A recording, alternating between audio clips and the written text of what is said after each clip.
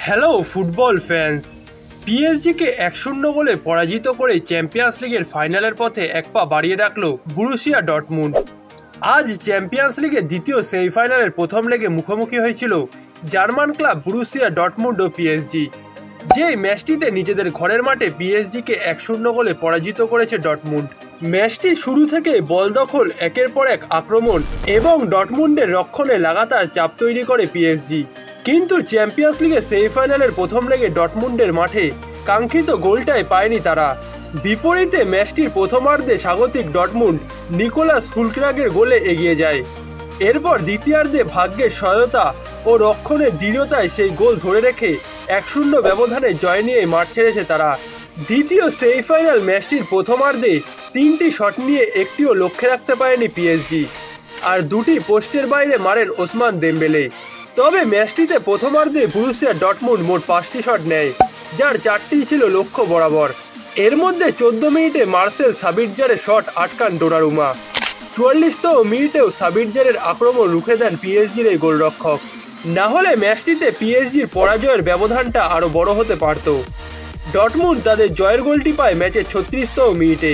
নিজেদের অর্ধ থেকে নিকো স্লটারবেগ লম্বা করে বল বাড়ালে দারুণভাবে নিয়ন্ত্রণে নেন ফুলক্রাক। এরপর বা পায়ে জোরালো শটে তিনি বলটি জালে পাঠান।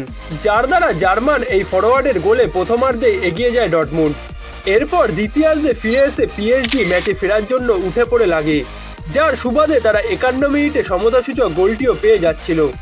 তবে সেই সময় দুর্ভাগ্যবশত পরপর দুবার বল বারপোস্টে লেগে ফিরে আসলেও গোল পায়নি পিএসজি। প্রথমে এমব্যাপের শট লাগে দ্বিতীয় পোস্টে। এরপর ডটমুন্ডের রক্ষণ বল বিপদমুক্ত করতে না পারায় বলটি পেয়ে যান আশরাফ হাকিমি তার শট লাগে এক পোস্টে।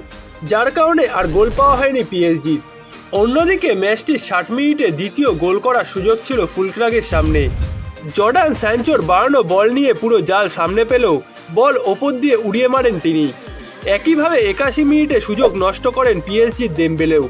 শেষ দিকে পিএসজি গোলের জন্য মরিয়া হয়ে প্রচেষ্টা চালায়। তবে ডটমুন তাদের রক্ষণে বাড়তি মনোযোগ দিয়ে সেগুলোকে রুখে দিয়েছে। যার ফলে ম্যাচটিতে এক শূন্য গোলে জয় নিয়ে মাঠ ছেড়েছে জার্মান ক্লাবটি এবং যার দ্বারা তারা দু হাজার বারো তেরো মৌসুমের পর প্রথমবারের মতো চ্যাম্পিয়ন্স লিগের ফাইনালে যাওয়ার পথে এগিয়ে আছে। প্যারিসে দ্বিতীয় লেগের ম্যাচটিতে এই দুটি দল মুখোমুখি হবে আগামী আটই মে। যে ম্যাচটিতে পাকদে প্রিন্সেসে অ্যাগ্রিগেটে এক শূন্য গোলে এগিয়ে থাকে মাঠে নামবে বুরুসিয়া ডটমুন্ড। অন্যদিকে পিএসজি মাঠে নামবে চ্যাম্পিয়ন্স লিগের কোয়ার্টার ফাইনালের মতো সেই ফাইনালেও দুর্দান্ত এক কামব্যাক করার আশায়।